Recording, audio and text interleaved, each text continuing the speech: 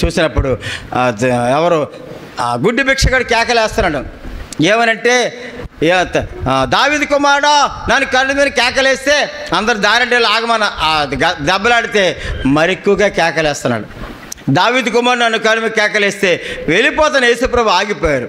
అంటే సృష్టికర్తను ఆపగలిగిన ప్రార్థన సృష్టిని ఆపగలిగిన ప్రార్థన. మూడవది నిర్మాకాండంలో చూస్తున్నాడు. మోషే దేవుడు అంటాడు వీళ్ళందరిని నాశనం చేసేస్తాను. నేను నిన్నుంచి నుంచి నీ నుంచి జనాలు పుట్టిస్తానంటే మోషే అంటాడు సాగిలి పడిపోయి అయ్యా ఐగుప్తు నుంచి తీసుకొచ్చారు. వాళ్ళు నాశనం చేస్తే పరిస్థితి ఏమైపోద్ది? అనేక మంది నీ గురించి త- తప్పుగా అర్థం చేసుకుంటారు. కాబట్టి వా వాళ్ళ విషయంలో నువ్వు పశ్చాత్తాపడమని. దేవుణ్ణే పశ్చాత్తాపమన్నాడు. ఒక వ్యక్తి అయితే సృష్టిని ఆపగలిగిన ప్రార్థన చేశాడు. ఇంకో వ్యక్తి అయితే సృష్టికర్తనే ఆపాడు. మూడో వ్యక్తి ఏ దేవుణ్ణే పశ్చాత్తాపం అంటున్నాడు. ఎంత ధైర్యం అండి. వాళ్ళకంటే ఈ మోసే తెగింపు ఆలోచించవచ్చు ధైర్యంగా దేవుని పశ్చాత్తాపం అన్నాడు ప్రియమైన వరరా అటువంటి పరిస్థితి మనకు మన జీవితంలో ఉండాలి. మన ఫెలోషిప్ విత్ గాడ్ దేవునితో మన సహవాసం ఎలాగుంది? వాక్యం ఉంది. అన్యజనులతో సహవాసం చేసి వారు క్రియలు నేర్చుకున్నారని రాయబడింది. ఆలోచించండి. అనేక మంది అన్యజనులతో సహవాసం చేసి వాళ్ళు ఏం చెప్తే అక్కడికి నేను యవనస్తుడిగా కొనసాగించినప్పుడు ఇంకా అప్పుడు రక్షించబడలేదు. మారు మనసు పొందలేదు. నా చుట్టూ ఉన్న వాళ్ళందరూ కూడా మా ఫ్రెండ్స్ సర్కిల్ అంతా హిందువులే. నేను ఒక్కడనే క్రైస్తవుడిగా ఉన్నాను. ఎలా ఏమి తెలియదు ప్రభు కనపడతారో మాట్లాడతారు. ఇది ఇది తప్పు దొంగతనం తప్పు వ్యభిచారం తప్పు ఈ లవ్ అఫేర్ తప్పు ఏమీ తెలిసేది కాదు.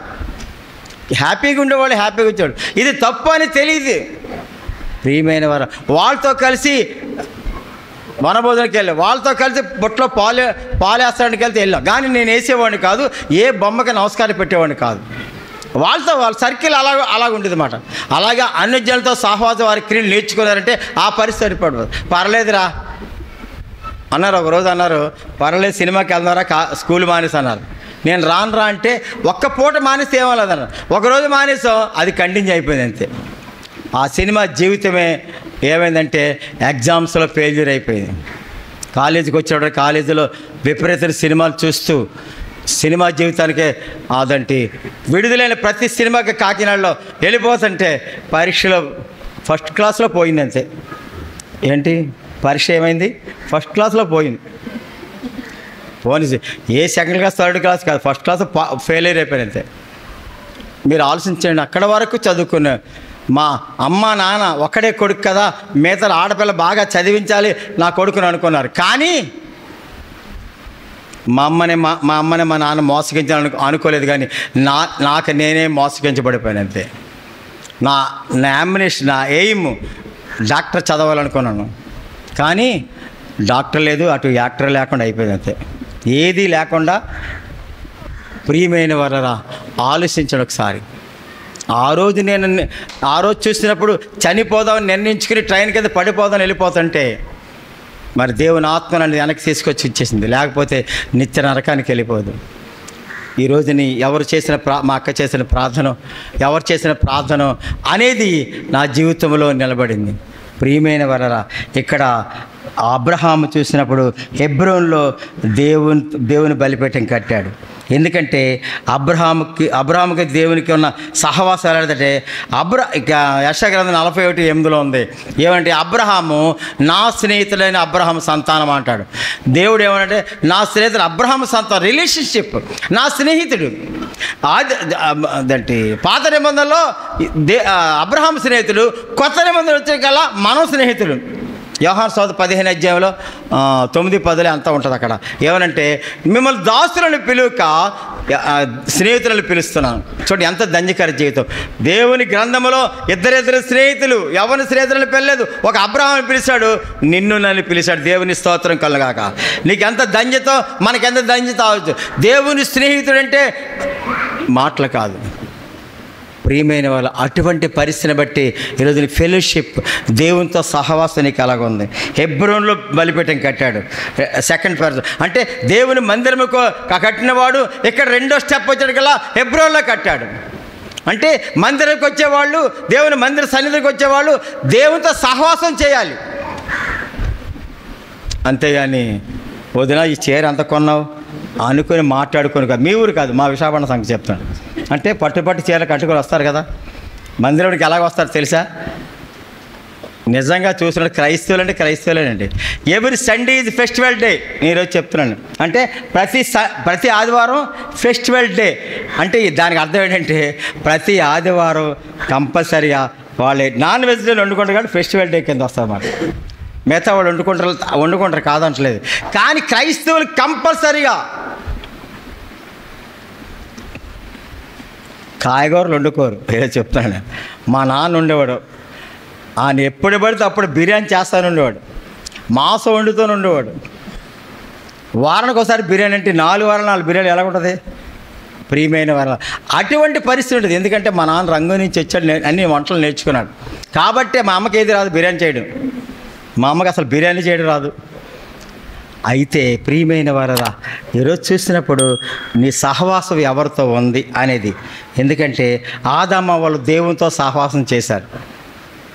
ఫెలో అంటే ఫెలోషిప్ దేవునితో. ఎందుకంటే దేవుడు వచ్చి ఆదామ వాళ్ళని ముగ్గురు కలిసి ఏదో తోటలో నడిచెళ్ళేవారు. చల్లపోట నడిచేవారు. ఈరోజు దేవునితో సహవాసం పోగొట్టుకున్నాడు. ఎందుకు? పాప దేవుని ఆజ్ఞ తిరస్కరించాడు. ఈరోజు దేవుని ఆజ్ఞ తిరస్కరిస్తే దేవుని మందిరానికి వచ్చినాను వాయిద్యాలు వాయించినా పాటలు పాడిన ఏం చేసినా సరే ఈరోజు నేను చూసినాడు ప్రియ దేవుని ప్రియమైన వాళ్ళరా బయటికి గింటి పడే పరిస్థితి ఆదామ వాళ్ళకి. సహవాసం పోగొట్టుకున్నాడు. దేవునితో మాట్లాడను పోగొట్టుకున్నాడు. దేవునితో దేవుని చూచాను సమస్తం పోగొట్టుకున్నాడు ఆదాము. ఒక్క విషయంలో ఒక్క తినొద్దండు పండు తిన్నాడు కాబట్టి. ఈరోజు నేను ప్రియమైన సంగమ. మందిరానికి వచ్చే చెల్లి తమ్ముడు ఈరోజు దేవునితో సహవాసం ఎలాగుంది? ఆదమ్మ వాళ్ళు దేవునితో సహవాసం చేశారు. అది చూసినప్పుడు మోషే కూడా దేవునితో రిలేషన్షిప్ సంఖ్యాకాండం రెండు అధ్యాయం మూడు ఆరు వచ్చిన ఉంటుంది. ఎందుకంటే అంటాడు మో దేవుడు అంటాడు మోషే నా ఇల్లంతట్లో నమ్మకమైన వాడు. నా ఇల్లంతట్లో నమ్మకమైన వాడు. భూమి మీద మిక్కి భూమి అందరిలో మిక్కిలి సాత్వికుడు. నిజంగా ఎటువంటి పరిస్థితుల్లో ప్రేమైన వాళ్ళ? రిలేషన్షిప్ మోషేకి దేవునికి. అలాగే చూసినప్పుడు హానోక్కు దేవునికి రిలేషన్షిప్ మూడు వందల సంవత్సరాలు దేవునితో నడిచిన అనుభవం కనపడు ఒక సంవత్సరం కాదు. ఒక సంవత్సరం మనం నడిచేటికల్లా మనం అలసిపోతాం. అర్థమైందా? ఈరోజు నేను ప్రియమైన నేను పంతొమ్మిది వందల డెబ్బై ఐదు మే ఇరవై ఐదో తారీఖు రక్షించబడ్డాను. అంటే రెండు వేల ఇరవై ఐదుకి యాభై సంవత్సరాలు అవుతుంది రక్ష రక్షించబడి దేవుని స్తోత్రం కలగాక. ఎవరి కాలంలో ప్రభు నన్ను పట్టుకున్నారు కాబట్టి ఆలోచించే పది సంవత్సరాలు మేము వాక్యం చెప్పేవాళ్ళం కాదు. చెప్ చెప్ ఇచ్చేవారు కాదు వాక్యం మన పెద్దవాళ్ళు ఇది పెద్ద పెద్దవాళ్ళు ఉండే నర్సరాన్ని వాళ్ళందరూ ఉండేవారు కాబట్టి మేము ఏంట్రా అంటే పాటలు పాడేవాళ్ళు ఫస్ట్. నేను పెద్ద పాటగానే అని కాదు అనుకోండి. మీటింగ్లో పాటలు పాడేవాళ్ళు. ఎవరి దగ్గర? అవిశ్వాసుల దగ్గర కాదు విశ్వాసుల దగ్గర. విశ్వాసుల దగ్గర పాటలు పాడారు అలాగే పది సంవత్సరాలైతే విశ్వాసాలు వాక్యం చెప్పడం ప్రారంభించాం. ఏనాడు కూడా అవిశ్వాసాలు హెచ్చరించడం కానీ ప్రార్థన చేయడం కానీ మాకు ఇచ్చేవారు కాదు. ఏదో అన్నయ్య నరసరన్న పక్కన కూర్చోబెట్టి పర్సనల్ వర్క్ నేర్పారు. ఎలా చేయాలి ఏంటని. తర్వాత సెపరేట్గా పర్సనల్ వర్క్ చేయడం ఆయన కూర్చోబెట్టుకున్నారు. ఈ రీతిగా సేవ ప్రారంభమైన పరిస్థితి. ప్రియమైన వాళ్ళ పంతొమ్మిది వందల ఎనభై ఐదు నుంచి వాక్యం చెప్పడం ప్రారంభించాం. వాక్యం చెప్పంటే భయం. గడగడ స్టేజ్ ఫియర్. అయినా సరే ఆలోచించండి ఒకసారి. ప్రియమైన వారా ఏమైందంటే జయరాజుని బుర్రకథ గురించి ఏర్పాటు చేసుకున్నాను దేవుడు. దేని గురించి? క్రీస్తు చరిత్ర బుర్రకథ. ముగ్గురున్నారు. నాకు పా పాట పాడితే డిక్కి కొట్టేవాడిని కాదు. డిక్కి కొడితే పాట పాడినవాడు కాదు. ఆలోచించండి ఒకసారి. పాటలు సరిగా రావు. లేకపోతే మాటలు సరిగా మాట్లాడేవాళ్ళం కాదు. అటువంటి పరిస్థితిని బట్టి ఆలోచించండి. నలభై రెండు ప్రోగ్రామ్స్ వేసాం. ఆయా ప్రదేశాలకు వెళ్ళి అనేక మంది క్రీస్ చరిత్రను బురక చూసిన వారు. తర్వాత నా నా అదంటే మధ్యవర్తి చనిపోయాడు కాబట్టి అలాగే చనిపోయాడు కాబట్టి ఆ బుర్రకథ బ్యాక్ వెళ్ళిపోయిన పరిస్థితి. ప్రియమైన వాళ్ళలా ఆలోచించడం ఒకసారి. దేవుడు తన బిడ్డలను వాడుకోవడం దేవునితో సహవాసం ఎలాగ ఉంది? హానొక త్రీ హండ్రెడ్ ఇయర్స్ మూడు వందల సంవత్సరాలు. అయినా సరే దేవుడు అక్కడ హానోకి చనిపోలేదు. దేవుడే తీసుకెళ్ళిపోయాడు. మరి హానోకి జీవితం ఎలా ఉందో దేవునితో నడిచిన వాళ్ళ ప్రాముఖ్యమైన వాడు హానోకి ఒక్కడే బైబిల్ గ్రంథంలో. ఎందుకంటే అన్ని సంవత్సరాలు నడిచిన వాడు. అందుకే బ- తీసుకెళ్ళిపోయాడు అంతే. ఆయన తీసుకెళ్ళిపోయాడు. ఏలేని కూడా చని శరీరంతో తీసుకెళ్ళిపోయారు ఎక్కడికి? పరలోకానికి. అటువంటి పరిస్థితి ఆలోచించండి ఒకసారి. అలాగే చూసినట్టు ప్రియమైన వారు ఈరోజు మనం మనకి మన దేవునికి ఉన్న రిలేషన్షిప్ సహవాసం ఎలాగుందో ఆలోచించుకో ఒకసారి. దేవుని మందిరానికి వస్తున్నావా? దేవునితో సహవాసం చేస్తున్నావా? దేవునితో ఉండగలుగుతున్నావా? మా ఊర్లో యవనస్తులు ఉంటారు. పాట పాడిన తర్వాత పాట అయిపోతుంది కదా? వాక్యం మొదలెట్టి కల్లా ఏం చేస్తారంటే ఎవరికాడు లేచి వెళ్ళిపోతూ ఉంటారు. ఎందుకు? వాక్యం అంటే బాగుపడిపోతారు కదా? యవనస్తులు మీ ఊర్లో పర్లేదు. అక్కడ అలాగే కూర్చొని ఉంటారు. అర్థమైందా? ఎంతవరకు కూర్చుంటారు ఆఖరి ప్రార్థన వరకు. అక్కడ అలాగే మళ్ళీ వాయించేటప్పుడు వస్తారు బయట వరకు ఏంటి? ఎలా బాగుపడతారు? ఎలా దీవెన వస్తుంది? దేవుని మందిరంలో ఉండవలసి ఆ మాత్రం ఒక రెండు మూడు గంటలు ఉండలేము మనం. ప్రియమైన వారు అది నిజంగా రక్షణ కోటాలో నాకు ఆశ్చర్యం వేస్తుంది. విశ్వాసాలు అంటే వాక్యం చెప్పి వచ్చేస్తారు కానీ భోజనానికి ఈ రక్షణ కోటలు కంటిన్యూగా తెల్లవారుజాము కోటం ఉదయం కోటం మధ్యాహ్నం కోటం రాత్రి కోటం చూసినప్పుడు వాళ్ళకి ఎంత టైం ఉండదు. భోజనం చేసిన అరగంటకే వాళ్ళు అనుకోవచ్చేమో నన్ను మమ్మల్ని తిట్టుకుంటారో తెలియదు కానీ అరగంటలో బాబోయ్ వచ్చేస్తున్నారు బాబోయ్ అనుకోవచ్చు. ఎందుకంటే ఆ, ప్రియమైన ఎందుకంటే వాళ్ళ పాపం అన్నం తెలిసి జస్ట్ అలాగా నడువాల్సి కూర్చుంటారు. ఈ లోపల మేము గబ భోజనం వచ్చేస్తాం కదా. ప్రియమైన వారు. ఎందుకంటే ఆశ రక్షించబడాలి ఆశ. ఈరోజు విశ్వాసాలు ఈరోజు ఇప్పుడు దేవునితో సహవాసం ఎలాగుంది మూడు మూడవ దేనికి వెళ్ళిపోతాం చూడండి. ఆది కాండ ఇరవై అధ్యాయం ముప్పై మూడు ముప్పై నాలుగు వచ్చినలో అబ్రహాం అట బేర్షబాలో యహో పేరట ప్రార్థన చేశాడు రాయబడింది. అబ్రహాము ఫిలిస్తీ దేశంలో అనేక దినాలు ఎలా పరభాషగా రాయబడిన పరిస్థితి. బట్టి అంటే సాక్ష్యం అని అర్థం. ద విట్నెస్ బేర్షబా అంటే విట్నెస్ అన్నమాట. బేతల్ అంటే దేవుని మందిరము. అలాగే చూసినప్పుడు ఆ రెండో వచ్చేసి ఎబ్రోన్ అంటే సహవాసం అని మూడోది బేర్షబాకి వచ్చాడు. అలా ప్రయాణం చేస్తూ బేర్షబాకి వచ్చాడు. బేర్షబా అంటే చూసిన ప్రియమైన వరరా సాక్ష్యం అని అర్థం. ఈరోజుని మన సాక్ష్యం ఎలాగుంది? రక్షించబడిన తర్వాత నువ్వు మందిరం రావచ్చు. నీ దేవునితో సహవాసం చెప్పచ్చు కానీ నీ ఇంటి దగ్గర నీ సాక్ష్యం ఉంది నీ మందిరం నీ సాక్ష్యం ఉంది నీ బంధువుల దగ్గర నీ సాక్ష్యం ఎలాగుంది? నీ కుటుంబంతో నీ సాక్ష్యం ఎలాగుంది? ఇవి నోరిప్పితే బూతులే అని సాక్ష్యం వచ్చిందనుకో ఎలాగుంటుంది? దేవుని నామంకి అవమానం కదా. ఈవిడ గొడవ పెట్టిందంటే మొత్తం అన్ని గ్రంథాలు ఇప్పేస్తుంది అని ఉంటే ఎలాగుంటుంది? ప్రియమైన వలన మనిషి కోపం రానంత వరకే. వస్తే నర్సరీ ఒక మాట చెప్పారు. నా కోపం వస్తే మడత మంచం ఓస్తే పొడి చేసి మూడు రోజులు ఉపవాసం ఉంటాను అన్నట ఏమన్నాడు? మడత మంచం ఓస ఉంటుంది కదా? చాలామంది ఇంట్లో మ- మడత మంచం ఉంటుంది. ఆ మడత మంచం అన్నారు నాకు కోపం కానీ కోపం వచ్చితే మడత మంచం వస్తే పొడి చేసేట మూడు రోజులు ఉపవాస ప్రార్థన చేస్తారట. అంటే అర్థమైంది మీకు? ప్రియమైన వాళ్ళరా ఈరోజు చూసినాడు అటువంటి పరిస్థితులు ఉంది. బేర్షబడే సాక్ష్యం ద విట్నెస్ మాట రక్షించబడిన చెల్లి తమ్ముడు మన మన గురించి సాక్ష్యం ఎలాగుంది? నీ ఇరుగుపరు అని అబ్రహాం గురించి సాక్ష్యం నాలుగు మాటలు చెప్తాను చూడండి.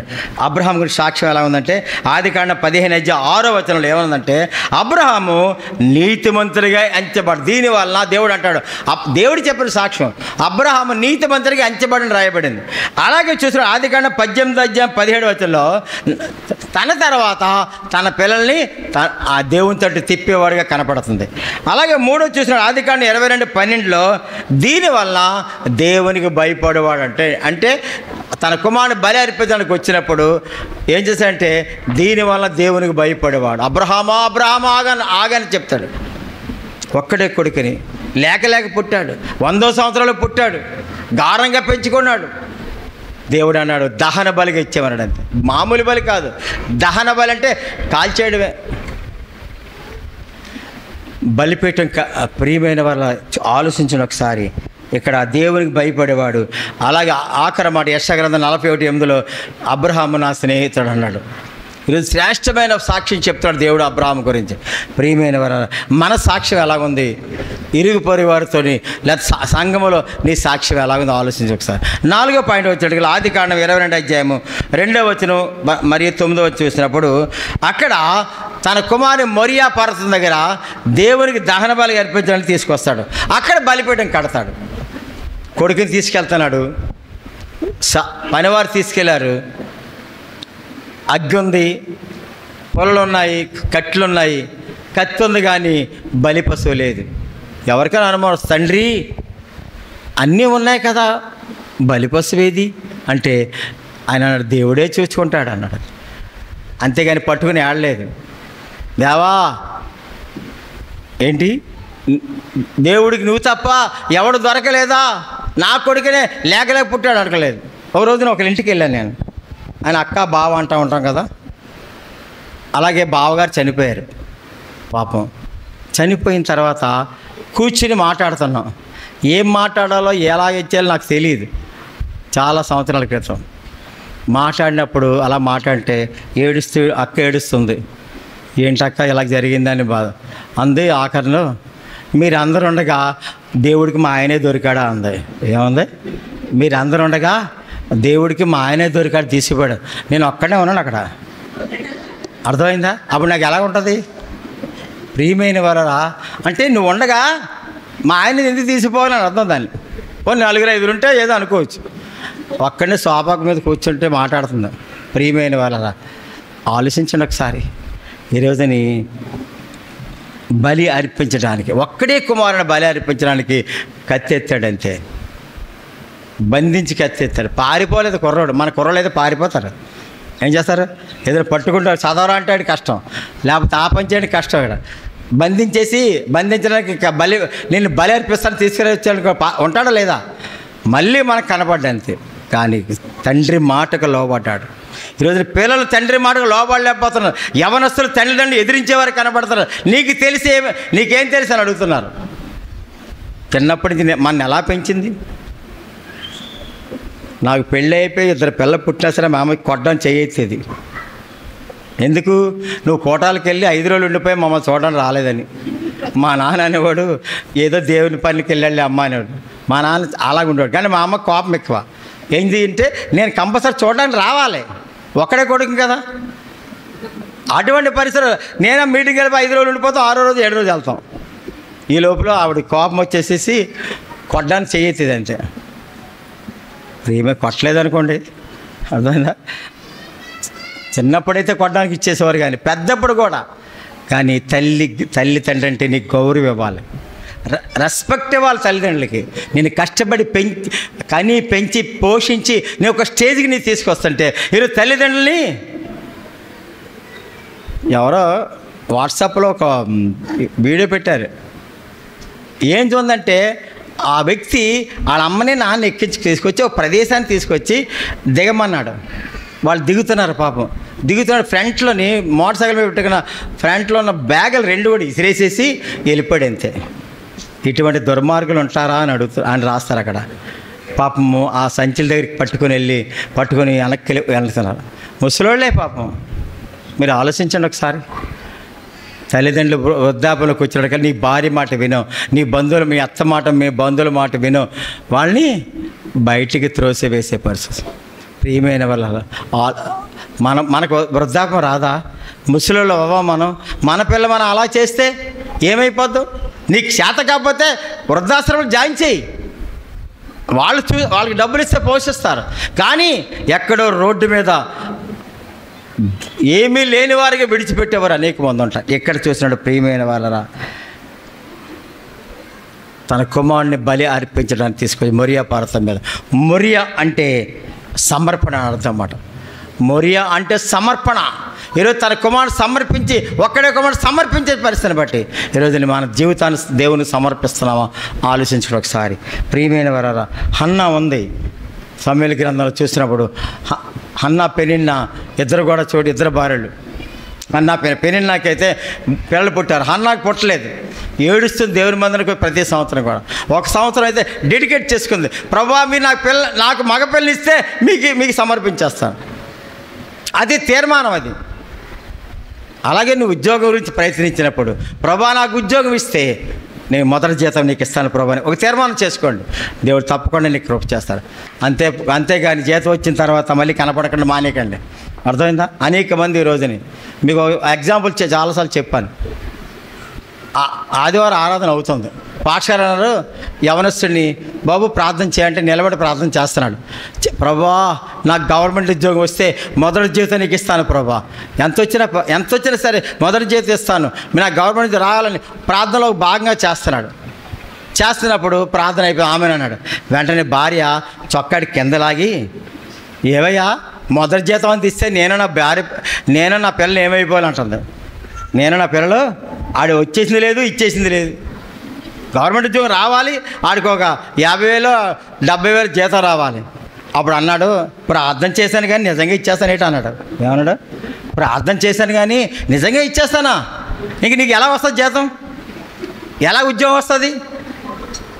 ప్రియమైన వాళ్ళరా ఇన్నాళ్ళ అక్కడికి వచ్చిన నేను చూశాను కదా రమేష్ గారు ఉన్నప్పుడు పాట పెట్టేవారు పిల్లల్ని. అర్థమైందా? ఎవరన్నా నిజం పాట తెస్తారేంటి అంటే ఎంత అని ముందే అడిగేవాడు ఈయన పాపం. ఈయన ఒక అమ్మాయి చక్రవర్తి. ఎవరో? రమేష్ గారు. ఎంత అంటే ఎంత అని కాదు మినిమం మినిమమ్ మన పా- మన పాస్కర్ ఇది ఇది ఈ పిల్లలు పాట పెడతారా మినిమం ఐదు వేలు అని అనుకోండి. పాట పాట పెడతారా? మళ్ళీ కనపడరు ఇక్కడికి. అర్థమైందా? వాళ్ళ ఐదు వందలండి. అనగానే ఐదు వందలు మొదలెట్టేవాడు. అర్థమైందా? ఒక్కోడు పదేసి వేలు పదే అడిగారు. ఎవడో తీసుకునేవాడు కాదు ఎవడు పదివేలు తెస్తారేంటి? నిజంగా ఇచ్చేస్తే. రండి మా ఇద్దరు మాకు ఇద్దరు పాపలను ఇచ్చేస్తారు కావలిస్తే. ప్రియమ నేను మొదట అనుకున్నాను మొదట మా ఇద్దరు పాపలు పుట్టినప్పుడు మొదటి పాపను మా మామగారు ఇచ్చేయమన్నారు. ఆయన ఆయన ఆయన పెంచుకుంటున్నారు. రెండో పాప పుట్టినప్పుడు మీకు ఇక్కడ తెలుసు. ఆ, ధవళేశ్వరంలో హుసేన్ గారు. వాళ్ళు ఇచ్చేయమన్నారు. ఎందుకంటే మా మిస్సెస్ వాళ్ళకి అదంటే బాగా పరిచయం అన్నమాట వాళ్ళు ఇచ్చేయమన్నారు. అప్పుడు మాకు ఎవరుంటారు మా ఆవిడ నేనే ఉంటామాట. అర్థమైందా? అటువంటి పరిస్థితి బట్టి ఏ తల్లి కూడా దాని బిడ్డలు ఇస్తుందా? ఎలాగైనా పెంచేసుకుంటుంది. నేను ఇచ్చేపోయామని అడిగాను. ఇద్దరు ఆడపిల్లలు ఎక్కడ భరిస్తాం? ఒకళ్ళు కాదు ఇద్దరు. ఆడపిల్లలు పుట్టేటోడికల్లా కా నాకు ప్రాబ్లం వచ్చేసింది అంతే. ఎందుకే? ఈ ఆడపిల్లతో పడలేమని. బో ఏ పుట్టిన కానించి చనిపోయే వరకు బాధలే. ఎందుకు ఆడ ఆడపిల్లతో అన్ని పిన్ని కానించి అన్ని కొనాలి. ఇవన్నీ చేయాలని నా ఉద్దేశం అన్నమాట. ఈరోజు ఆడపిల్లలే బాగున్నారు. అర్థమైందా? మగపిల్లలు అంతా తిరుగుబాటు చేస్తున్నారు. మగపిల్లలు తండ్రి తల్లి అని గౌరవం లేకుండా చూస్తాం కానీ ఆడపిల్లలు ఏం చేస్తారు? మరి ఆ- ఆ రోజు నా మగపిల్ల పుట్టి ఏమైపోయింది కానీ కానీ మా చిన్న పాపే నాకు ఏది కావాలో ఏ సమయంలో ఏది కావాలో ఆవిడ ఎంత ఫోన్పే చేస్తూ ఉంటుంది అనమాట ఎందుకు? డాడీకి కావాలి. నేను ప్రయాణం రాజమండ్రి వెళ్తాంటే డాడీ ఏంటిది? మీకు ఛార్జీలు ఉన్నాయా? ఫోన్పే చేసేస్తానండి. వద్దులే నువ్వు ఏం చేయకలు ఉన్నాయండి. అంటే ప్రియమైన తన తల్లిదండ్రుల మీద ఆడపిల్లకున్న ప్రేమ మగపిల్లకు ఉండదు. మీరు ఆలోచించండి ఒకసారి. అటువంటి ఈ రోజున చూసినాడు ప్రియమైన వలరా అన్న తన తన డెడికేట్ చేసుకుని తీర్మానం చేసుకుంది. ఎందుకంటే నాకు నాకు పిల్లలు పుడితే మగ పుడితే నీకు ఇచ్చేస్తాను ప్రభు అలాగే ఇచ్చేసింది. మందిరానికి వదిలేసింది అంతే. ఈరోజు దేవునికి సమర్పణ ఎలా చేస్తాను? మార్క్స్ పన్నెండు అధ్యాయంలో నలభై నాలుగు వచ్చి ఉంటుంది. ఒక పేద విధవరాలు తనకు జీవనమంతా రెండు కాసులు వేసింది. రెండు దేవుడు చూ యేసుప్రభు చూశారు. తన అన్- అంటాడు అందరికంటే ఈవిడ ఎక్కువ వేసింది. ఎలాగంటే తన జీవనమంతా ఇంకేమీ లేదు ఆవిడ దగ్గర. ఏలియా ఏలియాగా ఏలియాగాని పోషింది సారిపెత్త విధవరాలు. అంటుంది ఏమనంటే మంచిలు తీసుకురమ్మంటే ఒక అప్పం తీసుకురమ్మంటే అయ్యా కొద్ది పిండే కొద్ది నూనె ఉందండి. అది ఈ రోజుని రెండు అప్పాలు చేసుకుని సరికొక అప్పం తిని చనిపోదాం అనుకుంటున్నామంటే మొదటగా నేను చెప్పించి అంతే. దైవజనుడు చెప్పిన ప్రకారం చేసిన మూలం ఏమైందంటే కరువు కాలం అంతా కూడా ముగ్గురు పోషించబడ్డారు. పిండి అవ్వలేదు నూనె అవ్వలేదు. లేకపోతే ఆ రోజుతో ఆ సారపేదవరాలు కొడుకు చనిపోయాను కానీ దేవుని మాట ఈ నష్టం ఎందుకంటే దేవునికి ఇవ్వడం నష్టమా? దేవుని సమర్పించ నష్టమా? దేవునికి ఎంతవరకు మనం సమర్పించుకుంటామో అంతగా దేవుడు దీవించి ఆచరించే పరిస్థితి ఉంటుంది. ఈరోజు అందుకే ప్రియమైన వాళ్ళరా తగిన తగిన దానికన్నా తక్కువ ఇచ్చి లేమిడికి వచ్చే వాళ్ళకి కలరని వాక్యంలో ఉంది. తగిన దానికన్నా అంటే నీకు వచ్చిన దా దాంట్లో పదో వంతు దేవుని సమర్పించకుండా నువ్వు నువ్వేం చేస్తున్నావు నువ్వు ఆలోచించి ఒకసారి. విశాఖపట్నం ఉన్నాడు. కరెక్ట్గా యాభై రూపాయలు అంటే సపోజ్ రెండు వేల ఐదు వందల యాభై రూపాయలు వేయాలనుకోండి. యాభై కలపడు. రెండు వేల ఐదు వందల యాభై అలాగే వేస్తారు ఉంటాడు అంటే దశాంశం కరెక్ట్ వేసేవాళ్ళు ఉంటారు. నాలుగు వేలు అంటే నాలుగు వేలు ఐదు వేలు అంటే ఐదు వేలు అలాగే వేసేవాళ్ళు ఉన్నారు. ప్రియమైన వాళ్ళరా ఒక్కో సంఘానికి విశాఖపట్నంలో లక్షల కింద వస్తాయి. ఎంతో డెవలప్మెంట్ చేసుకునే ఆస్కారం ఉంటుంది. మీరందరూ దేవుని సమర్పించడం నేను కాదంటలేదు కానీ ఈరోజు మన హృదయాన్ని దేవుని సమర్పిస్తున్నామా? ఏ రీతిగా హన్నా సమర్పించింది పేద విధరాలు సమర్పించింది. నాలుగు మాటలు చెప్పబట్టే ఒకటి దేవుని మందిరములో నీ పరిస్థితి ఎలాగుంది? రాగలుగుతున్నావా? రాలేనిపోతున్నావా? ఎలా ఎలా దేవుని మందిరం నీ ప్రవర్తన ఎలాగుంది? ప్రసంగ ఐదు ఐదు అధ్యాయం ఒకటి అవుతుంది దేవుని మందిరంలో ప్రవర్తన జాగ్రత్తగా చూసుకోమని ఉంది అనాలోచన మాట్లాడకూడదని ఉంది అలాగే రెండో చూసినప్పుడు ప్రియమైన వాళ్ళరా హెబ్రోన్కి వచ్చాడు. నీ సాక్ష్యం ఎలా ఉంది రక్షించబడిన తర్వాత నీ సాక్ష్యం ఎలా ఉంది మూడవ చూసినప్పుడు ప్రియమైన వాళ్ళరా మూడో మాట ఏంటంటే ఏముందంటే బేర్షబా సాక్ష్యం. నీ సా నీ విట్నెస్ ఎలాగుంది దేవుని సన్నిధిలో? నాలుగవది మోరియా పర్వతానికి నాలుగు బ నాలుగు బలిపెట్టి కట్టాడు. అంటే నీ సమర్పణ ఎలాగుందో ఆలోచించు ఒకసారి. ఈ నాలుగు మాటలు బట్టి దేవుడు మనకి మన ర- మన ఆయన జీవితాన్ని ఆయన రక్తాన్ని ఆయన శరీరాన్ని మన కొరకు సమర్పించి. ఆయన ధవళవనుడు రత్నవనుడు పదివేల మందిలో గుర్తింపు వచ్చిన పర పరమగీతలు ఐదు పదులు ఉంటుంది. అటువంటి దేవుడు అటువంటి ఏసయ్యా సిరులు వేలాడుతూ మాంసముద్దలా వేలాడుతున్న ముఖమంతా గాయాలతో రక్తం కారిపోతుంది. ముళ్ళ కిరీటి పెట్టుకోండి. ఆయన శిరస్సు అపహరించబడిందని రాయబడింది. అంటే బంగారు ఒక శిరస్సు నుంచి రక్తం కారుతుంది ఈరోజు ఆయన చే చేతి రత్న నీల రత్న ఖచ్చితమైన రాయబడింది. అటువంటి ఆయన ఈరోజు శిరులో వేలాడుతూ వస్త్రం లేనివాడుగా చిన్న అంగీ అంగీ ఏర్పాటు చేసుకుని నువ్వు నీకు వస్త్రాలు రక్షణ వస్త్రాలు ఇవ్వాలని నీకు ఇవ్వాలని ఆయన వస్త్రం లేనివాడుగా సిల్లు ఎవరు వేలాడుతున్నాడు నువ్వు ధనవంతుడిగా చేయాలని నేను ధనవంతుడిగా చేయాలని ఆయన పే దరిద్రుడు అయిపోయాడు ఆయన. పేదవాడిగా అయిపోయాడు. ఏమీ లేనివాడిగా అయిపోయాడు. నేను రక్షించుకోవాలి నువ్వు నిన్ను నువ్వు స్వస్థపడాలని ఆయన ఆయన వీపు చాలుగా చేది ఆయన దెబ్బలు తిన్నాడు ఆయన. ప్రియమైన వాళ్ళరా ఆయన గాయముల చేత మనకు స్వస్థత లభిస్తుంది. ఆయన రక్తం ద్వారా నీకు పాపక్షమాపణ కలుగుతుంది. ఈరోజు ఆయన ప్రాణాన్ని సమర్పించిన ప్రభుని కొరకు నువ్వేం చేస్తావు? సమర్పించుకుంటావా? సాక్షిగా ఉంటావా?